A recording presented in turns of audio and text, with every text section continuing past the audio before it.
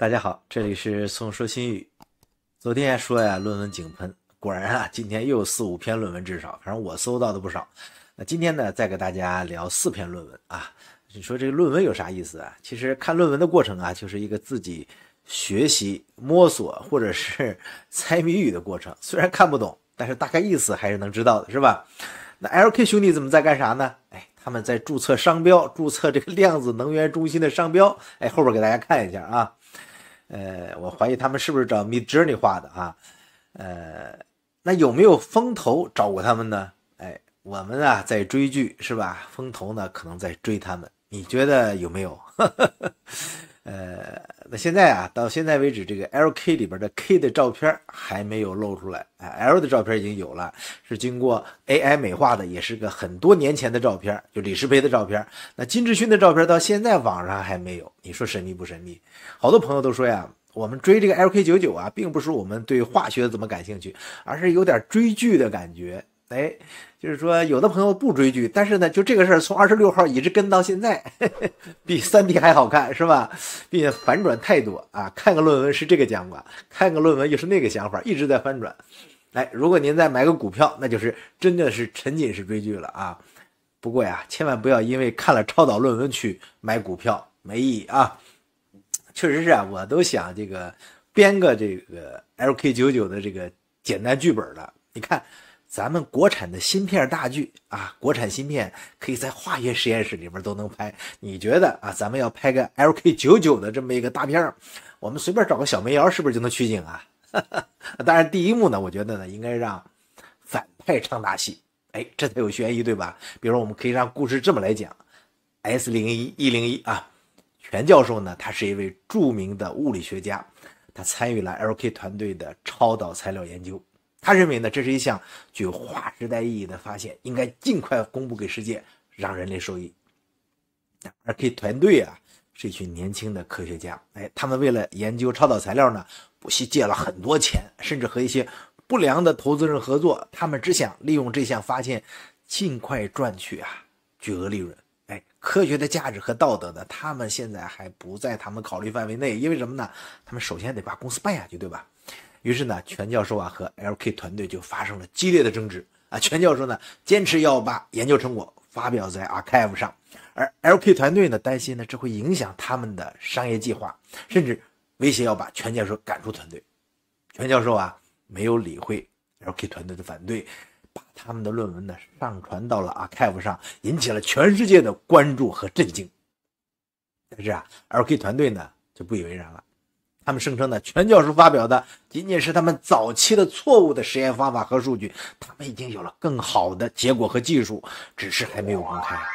全教授呢感到非常的失望和愤怒，他觉得 LK 团队在欺骗世界和自己，他决定揭露他们的真相，但是呢却遭到了 LK 团队和投资人的阻挠和报复。全教授呢陷入到了一场危机之中，他。能否保住自己的名誉和生命呢？他能否让真相大白天下？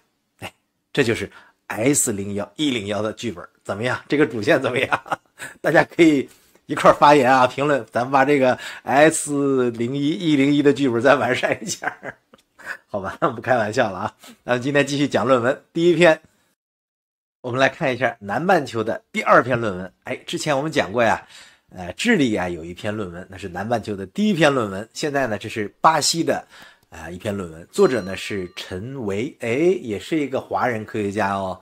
啊，他是在巴西里约热内卢的里约天主教大学，呃，那应该是一位博士后啊。那他这篇的论文主要内容呢是讲这个铜取代这个千灵灰石中的这个。Berry 曲率，也就是几何相位和量子度规。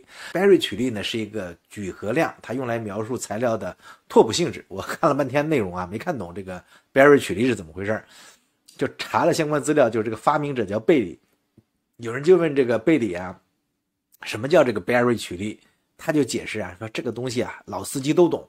哎，如果你需要把车停靠在路旁的车位里，用几个类似做做方向操作，哎，就把车移动到了车位里。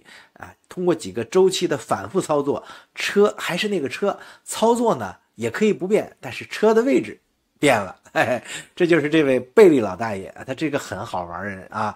我们看一下贝利这个照片啊。实际上，这个贝利老大爷啊，他的全名呢叫 Sir Michael Victor Berry 啊，他这是一位有爵位的爵爷啊。他生于一九四一年，是英国的数学物理学家。啊，是布里斯托尔大学的教授。一九八二年呢，他成为了英国皇家学会的会员。一九九六年呢，被授予爵位。二零零零年起呢，担任《Proceeding of the Royal Society》的编辑。他主要以这个贝里相位而知名，就是几何相位。那这个现象呢，可以在量子力学和光学实验中观察到，是一种拓扑相位。啊，他在。一九九六年啊，指出的旋转磁体可以不受恩绍定理而悬浮，啊，那么他在二零零零年啊，和我们前面说的那个发明石墨烯首次石墨烯的那个盖姆共同获得了青蛙悬浮实验的那个搞笑诺贝尔奖。所以呢，我说这老爷子很有趣，就在这儿啊，并且他们还去领奖了，这哥俩。现在呢，这个凝聚态物理学啊，非常火热的这个拓扑绝缘体和拓扑超导体，都与这个贝里相位呢息息相关。哎，这是这篇论文啊里边用到的一个主要工具的这么内容。那么讲完这个贝利老爵爷呢，我们看一下这篇论文的内容啊。那这是这篇论文啊。那么它这里边呢，主要是讲了这个最近呢，呃，室温超导的发展。他说，在最近的一系列报告中啊，呃，掺杂的这个铅磷灰值就 LK99 被提议为啊可能的室温超导的材料。然而呢，从实验和理论的角度来看呢，这种说法啊，很大程度上没有得到证实。为此呢，我们对 LK99 的样品的合成和后续分析，哎，揭示了一种不表现出高温超导性的多项材料啊。他们也通过这个单晶 X 射线衍射呀，研究了这个相结构，发现了与掺杂这个呃千灵灰石啊一样的结构。然而呢，这个材料呢是透明的。哎最后啊，他们发现，在所有的情况下，我们发现他们都是通过不可重复的威尔逊循环和 Fubini study 度量来原子定位的。那这种能带呢，不太可能支持强的超导性，而在低温下呢，容易受到铁磁性的影响。那我们从头开始的研究中发现了这一点。总之呢，这个改性的铅磷灰石啊，更有可能是磁体，而不是环境温度压力下的超导体。哎。那我做了这么久的视频啊，看了这么多的资料啊，这么多资料，我也感觉呢，哎啊，这个东西呢，这是一种奇怪的材料啊。成分中呢，你看它没有铁、镍、钴啊这些铁磁性元素，啊，具有磁性或者抗磁性。当然，除了这个铁、镍、钴之外啊，是铁磁性的，比如说还有什么锰啊，嗯，还有锰还有什么东西啊？啊，有一些磁性的东西。但是呢，它里边都不含，哎，但是呢，它却能哎有磁性，所以这个事儿呢比较有意思。你说将来的发展会怎么变化呢？我觉得是不是会影响？不一定会影响超导，它可能会影响这个稀土行业呀。大家想想是不是道理？实际上，这个铅磷灰石啊是一种不是多稀缺的矿产资源，但是呢，它分布呢也不是特别广啊。今天就跟大家聊聊全球的这个磷矿资源。大家现在看到的是。布克拉露天的磷酸盐照片啊，煤矿的卫星地图。那这个磷酸盐啊，是农业肥料的主要成分。哎，都上过磷肥、干过农活的朋友都知道，那布克拉这个磷矿啊，是世界上最大的磷矿之一。那这个工厂啊，每年生产大概两百四十万吨，占世界产量的百分之十四。二零一一年的统计啊，那么他们在这个磷酸盐的沉积物中呢，切出了平行的沟槽，哎，以方便。提取这些材料，那在这个撒哈拉沙漠的西端啊，这个几乎完全没有人居住的地方，呃，这个矿井啊，那么从太空中也是可以看到的少数的人类图案之一。那这条淡青色的线啊，它可不是路啊，呃，它是世界上最长的传送带，一百公里。他们把岩石呢运送到海岸线，然后呢通过船呢再运送到世界各地的用户。那传送带的一部分，最后终点呢有一个破碎机，哎，当破碎之后呢，这个带状结构啊，每个小时会运载大概两千吨岩石从矿里边运到这海边，又长又直。那么宇航员在天上的时候呢，也没啥意思。他们这个地方呢，经常和国际空间站的轨道有交叉地方，所以在大沙漠里边啥也没意思。突然看到这个开采矿场，这个矿啊，还是真的，经常引起这个宇航员的注意。有宇航员时不时的 哎照张相。所以这个全球的磷矿资源啊，实际上分布是不太均衡的啊。呃，中国吧，我们说一下中国的情况，以大概百分之四点五的磷矿石啊，贡献着全球磷矿石百分之四十百分之四十点二的产量。啊，根据呃美国矿产部的这个二零二一年的预测数据啊，从储量上看，全球矿石储量大概是七百一十亿吨，其中摩洛哥和西撒哈拉的沙漠最大，大家看到了吗？摩洛哥和西撒哈拉啊，这就是我们说的这个位置啊，呃，那么大概都五百亿吨，就刚才我们看到这个西部非洲啊，它的占比超过了百分之七十，中国储量呢大概三十二亿吨才。占比呢是百分之四点五一，啊，和摩洛哥和西撒哈拉的差距是很大。从产量上看啊，二零二一年呢，呃，全球啊每年开采的磷矿石大概是二点二亿吨，其中呢，中国、摩洛哥、美国、俄罗斯，哎，它均为磷矿石的主要供给国。其中啊，中国是世界上最大的磷矿石生产国。刚才不是说了吗？中国是以百分之四点五的储量贡献了全球百分之四十点二的。这个产量，那这个数据啊，我会会后边啊，在视频下边给大家接出来。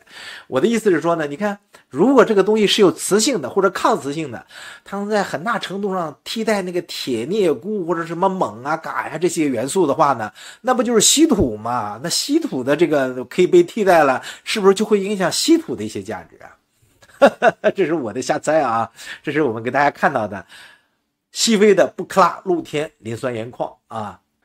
我们再讲第二篇论文啊，那第二篇论文啊，就是比较著名的所谓的普林斯顿论文啊。这个论文的标题叫《呃千灵灰石的生子带局域平平带磁力模型和化学分析》。它的作者呀，一座是西班牙的啊，西班牙的国际物理中心。那么二座、三座、呃四座呢，后边有普林斯顿，还有俄勒冈大学的生化系啊。那么这篇论文呢？呃，也是通过理论上和实验来分析。那其中啊，这个一作呀，也是一位华人，叫江毅啊，他是一位博士后研究员，在西班牙，他是呃中科院的曾经的一个博士啊，获得过中科院的所谓院长优秀奖啊。那么在中科院还获得过中科院优秀博士论文奖，现在在西班牙的 DIPC 呢做博士后研究啊，这是。呃，江毅博士的情况。那这篇论文里边啊，其实后边后边那几位作者呢都是博士啊，也是在读的有可能。那这里边论文里边呢有三位教授，他们分别是呃 Leslie M. Scoop 啊，他是 Princeton 这个化学系的教授，他的研究方向呢主要是新型材料和设计合成。那 Claudia Fisher 呢是呃马克思普朗克呃物理化学研究所的。所长和教授，那这个也是比较知名的。这篇论文呢是，呃，我刚才漏了一个，是西班牙、德国、美国三国合作的一篇论文啊，呃，那么最后呢是一位教授呢叫，呃，Andre，呃，Benavig，他是 Princeton 物理系的教授，他研究方向呢就是超导、凝聚态理论、拓扑物理、量子计算。那这些教授呢，当然都是他们各自领域的权威教授，但是一座呢是一位华人博士后啊，是西班牙。呃，DIPC 的啊，那这篇论文呢，主要讲了以下几个意思啊。我们看一下这篇论文啊，那作者呢合成了一种名为。LK99 的掺杂铅磷灰石材料，对其进行了结构和性能分析，发现呢它不是高温超导体。哎，作作者呢用单晶的 X 射线衍射，叫 SXARD，研究了各种材料结构，发现呢它与掺杂呃这个这个铅磷灰石的相一致，但是它是透明的，这排除了超导性质的可能性。那作者呢对四种啊不同掺杂结构的铜。占主导的平带的拓扑量子几何和温的函数的局域化进行了计算，呃，最后啊，他们发现啊，这个掺杂的这个千里灰石呢，更可能是一种磁性材料，而不是常温常压下的超导体。那论文的结论主要说这几个意思：他们计算了材料的电子结构，发现它不太可能是超导体，而可能是磁性材料，而且还实验了这个材料的结构和性能，发现它是多项的，其中透明的部分也不可能是超导体。所以作者认为呢，报告的结构就是 LK99 最早期的论文的结构可能是错误的，呃，或者呢开头的计算有问题，或者这个超导性不存在。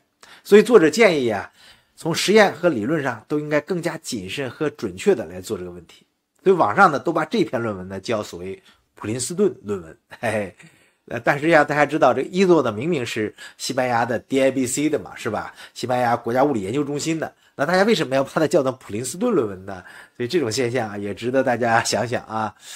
啊，这是第二篇论文，就是著名的普林斯顿论文。这个论文也被称为。LK 九九盖上棺材的那颗钉子，就是没有什么研究价值了。人家普林斯顿都说了，这就是个磁性材料啊，不是这个呃超导体。虽然磁性材料也有价值，但是呢，它毕竟不是超导体嘛，更不是十分超导体。那现在啊，我们看第三篇论文。第三篇论文啊，就是俄罗斯的一篇论文，是前天我们想讲没讲的落下的这篇论文，跟大家聊聊。它的标题叫《有前途的室温超导体的电子相关性嘿嘿 研究》。呃，作者呢也是有四五位啊，一座是德米特里 ·M· 克罗廷啊，那么后边呢还有呃好几个其他的这个各种司机、各种莫夫、各种懦夫啊，那么这里边呢既有啊这个俄罗斯的国家的研究院啊科学院乌拉尔分院，也有乌拉尔联邦大学，还有莫斯科的。呃，科沃科学技术研究所以及呃莫斯科的物理技术研究所啊，还是有四五个单位合著的，呃，那么他们呢展示了通过 DFT 啊，就是那个密度函数和 DMFIT 方法呢，获得了这个铅磷灰石，呃，它的里边的跨越费米能级的电子态相关性质的首次研究结果，呃，那么他们这个研究的主要是利用这个。分析铅磷灰石的电子结构和关联效应啊，发现呢要正确考虑多余的氧原子和铜铅原子在晶格中的无序占位。哎，这对于呢 LK99 的性质非常重要，因为这会导致费米能级附近出现一些窄能带，而这些能带呢是呃两组能带重叠而成的。那作者呢进一步通过这个 DFT 方法啊，发现考虑。库仑关联会导致能系打开，而且显著改变 DFT 得到的能带结构。但是呢，这种材料的物理图像啊非常复杂，不能简单的归结为三角晶格上的铜 DXZ 和 DYZ 轨道形成的莫特绝缘体，或者呢电荷转移绝缘体。因为这个呃铜铅磷灰石结构的呃不是由最近的铜离子的配体形成的，而是由远处多余的 OP 形态形成的。那他这个论文啊，看起来呢还是对 LK 九九啊，还是寄予了某些希望。你看从标题里边就能看出来，是吧？一种有啊前途的啊这种呃室温超导体的这个研究，是吧？它标题叫什么呢？它叫这个有前途的室温超导相关性研究啊。这是俄罗斯的这篇啊理论研究的论文啊。那最后一篇论文啊，是美国伊利诺伊大学厄巴纳香槟分校的一篇论文啊。那么它是，呃，也是通过理论研究啊，呃，这个来给大家解析那么整个这个情况。那作者呢叫普拉尚特吉安娜啊，他是一位博士，是一位印度裔的美国科学家啊。那么。它的主要学术成就呢，主要是就是光与物质的相互作用、纳米粒子催化啊和这个纳米粒子的模拟啊，这个光化学作用创新啊，发表过多篇高高质量的论文。这这个人看起来不是研究超导的，是研究纳米技术的啊，这个应该是我查的没问题啊。我们看一下他这个论文的封面啊，论文的标题叫。呃，硫化铜的相变及其对 LK99 的超导性的影响。哎，硫化铜又让我们碰到了啊！他是伊利诺伊大学香槟分校化学系的啊。呃，那么我们看一遍这篇论文。这是这篇论文。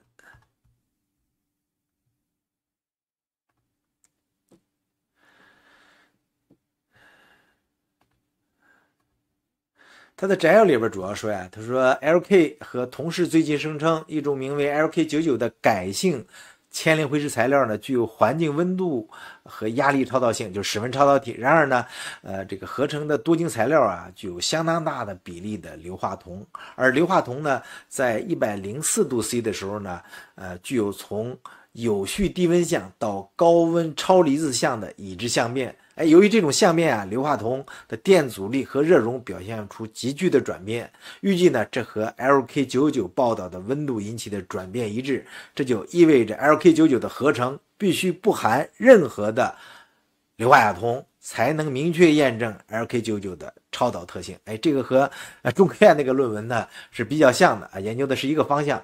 那么在里边呢，他说虽然图一和图二可能是偶然的。但很明显，要明确验证 LK99 的超导性，就需要排除硫化亚铜的合成程序。呃，那当然，他也说了，他说几乎不含任何硫化亚铜的这个改性铅磷灰石的合成呢，刚刚被报道啊，就是这个第十七的应用，引用的第十七篇论文是什么呢？我们查了一下，恰好是这个作者的印度老乡，就是我们昨天介绍的那个阿瓦纳团队做的，呃，而这个就是在 LK 的直接指导下做出的，这就有意思了。实际上，他做的样品也是按照 LK 指导完成的。那当然，他这篇论文被引用的时候还是前面那篇论文的。那新的论文呢还没有发表，所以啊，这就有意思了，是吧？大家看到了这四篇论文我们聊完了。说实话，大部分都不太理解，但是呢，结论还是能看出一些倾向性来。嗯，那三篇论文里边呢，我四篇论文里边呢，我觉得有三篇是基本上是否定的，指出呢。LK99 是一种磁性材料，它不是超导体。俄罗斯那篇论文呢，他讲了，他说可能啊，你还要做进一步工作。他们认为呢，是一种有前途的研究啊。呃，那当我们看看有意思的啊，就是昨天我们看过这个印度啊团队呢，呃，做出了一个比较新的样品。哎，他们今天呢又好像是又有了一个新的样品。当时呢应该有两批样品，另外一片样品呢，它是有铁磁性的。哎，它在靠近磁铁的时候啊，嗖就飞过去了。我们看一下这个视频啊，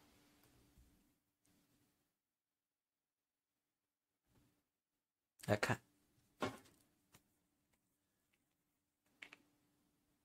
啪吸过去了，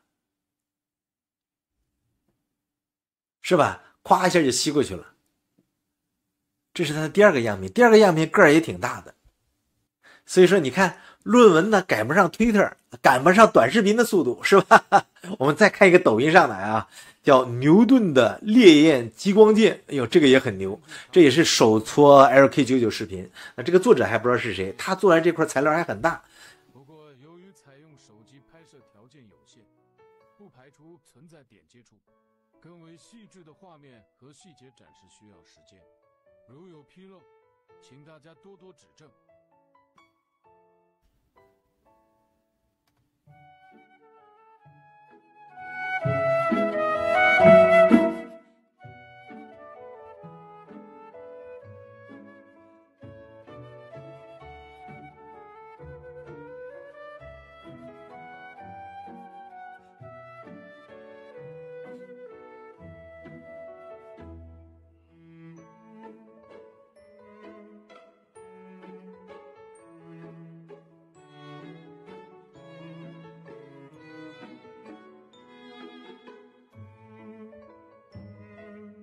看到了吗？他是侧悬浮的哎，这是个牛人，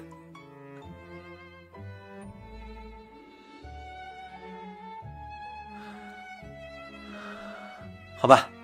哎，这是我们给大家看的一个视频。那这个视频啊很有意思，当然在短视频上啊真真假假，实在是让我们不能一时这个。这个这个判断出来，但是呢，哎，起码呢，他给了一个可能性啊，这个应该也是一个大学的，但是他现在呢还没有指出，还没有报出他的名号来，所以呢，我们会继续跟踪这个牛顿的烈焰激光剑他的视频，看看呢他会有什么后续的东西，他肯定会发论文的，是吧？所以他发论文，我们再继续跟踪。那好的啊，刚才跟大家说过呀，这个量子能源研究所呢。呃，在注册他们自己的商标。我们看他看一下，他注册了一个什么样的商标，很好玩这是他们设计的商标，就这个样子吧。嗨，这个除了烧样品之外，你看还急急忙忙申请几个商标，是吧？所以这个第一次申请商标，这个样子，你要说，呃，从一个哎理工科是吧？呃，角度来看，嗯，这个审美来看，也就那么回事儿。我我我不知道他们还不如找 Midjourney 画几个图，是不是会更好一些？你说呢？所以啊，之前呢，他们变更过这个工商登记。哎，原来的那个工商登记啊，是物理、化学、生物研究开发、电气电子工程研究开发、无形产权租赁。嘿嘿，那今年三月份呢，他们又新增了基础化学品制造、其他基础无机化学品制造、其他电气设备制造。哎，所以这在韩国来说呢，在在商业这个分类里边还是有不小的改变的。这就是什么呢？哎，原来呢我们是一家研究公司，现在我们可能成制造厂了。所以呢，这是比较有意思的。你说这个全教授，我们那个 S 零一零一里边也讲了，全教授作为一个反派，可能最后会会离开的是吧？那现在全教授走了，哎，他们开始真正把公司商业化了，这肯定是有各种各样的矛盾和纠纷。那到底是什么样的矛盾和纠纷呢？我一直啊想做一期啊真正的 LK 九九啊从头到尾这个恩怨的这么一个介绍来，想讲评书那样。但是呢，到现在为止，我们说了嘛，金志勋的照片到现在还找不到。所以呢，我们再等等。如果实在找不到，我们就开始聊一聊从头到尾啊，从最早啊这个前林辉石，甚至包括前南呃前呃南斯拉夫的那些研究开始，一直到现在的过程。那好的，关于今天的四篇论文啊，以及印度和抖音上的这个手搓 LK 九九啊，大家聊到这儿，谢谢大家收看，咱们下次再见，祝您周末愉快，拜拜。